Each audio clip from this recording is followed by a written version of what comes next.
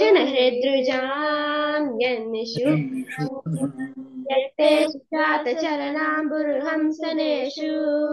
बीता प्रिय गच्छेषु